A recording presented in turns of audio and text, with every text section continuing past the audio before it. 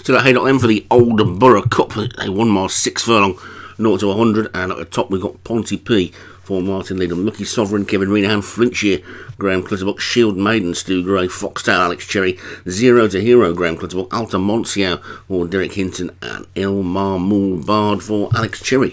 Field of just eight then in this handicap. All installed and ready to go. Away we go. A little bit slow out was Shield Maiden and El Marmoul Bard, but as is the norm, they're beginning to move through the pack already. And I wouldn't be at all surprised to see the Stu Grey horse take the lead before too long. And that is indeed what it's going to do on the outside of the pink jacketed Almontiao for Derek Hinton in third. Then a bit of a gap back to Elmar Marmoul Bard, who's likewise come through into a more prominent position. Ponty Peas on that one's outside. Lucky Sovereign is hugging the rail in the back three. Flintshire, Zero to Hero, and Foxtail. So, Alex Cherry and Graham Clutterbuck double handed in this one. And Shield Maiden on the outside of Altamoncio are about five lengths clear of El Marmoul Bard with Ponty P on that one's outside.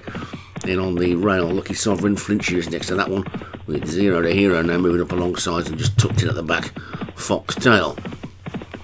Now the pace seems to be reasonably sensible, but the leading pair are four or five lengths clear of the rest of them. The chasing pack don't seem overly concerned about that fact at this point.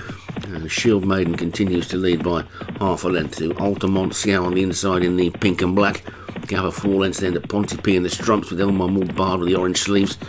And then the green and orange of Lucky Sovereign on the rail. The two horses racing in the new Graham Clutterbuck Silks, Zero to Hero and Flintshire. And then Alex Cherry's second horse, Foxtail, is just the back marker at this point. Probably no more than a dozen lengths off the lead, if that, as they make their way towards the final six furlongs of the old Borough Cup, and now Shield Maiden starts to push on, but immediately gets a response out of Altamoncio, tries to go with him with a length and a half clear though. Now Shield Maiden, Altamoncio is in second, gap of four, then still to Ponty P and Lucky Sovereign, then Flintshire and Zero to Hero. After that one comes Foxtail, then El Marmoul Bard has dropped to the back, but it's Shield Maiden who's got the lead and leads by about a length and a half. Then to Altamoncio in second, the chasing pack are not getting any closer at this point, and there's still four furlongs to go.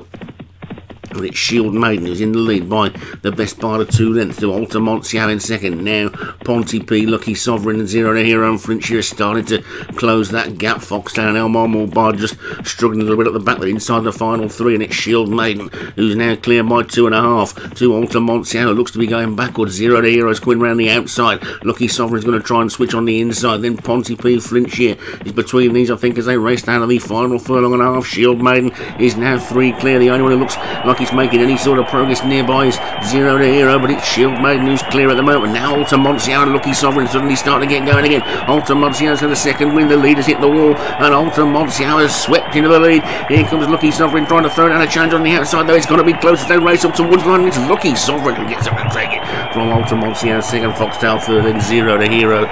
Ponty P couldn't handle the weight. And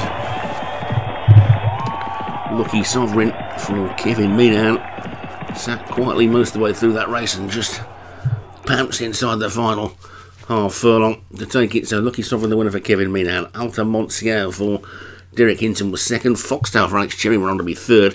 Zero to Hero for Graham Clutterbuck fourth. And Shield Maiden, the long time leader for Stu Gray, dropped back into fifth.